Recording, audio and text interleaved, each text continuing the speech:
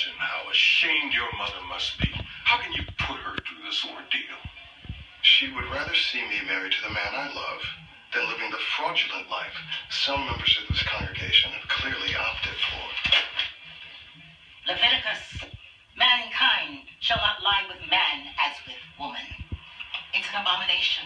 That same chapter also condemns people from eating shellfish. But I bet y'all don't let that stop y'all from church. Fish fry. No, there's no need to be disrespectful. Forgive me, Reverend. It just seems to me that when Jesus made the new covenant, he set the old rules of a vengeful and wrathful God aside.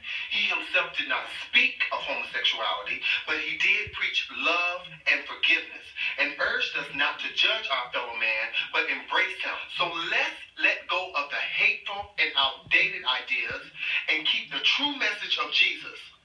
Love thy neighbor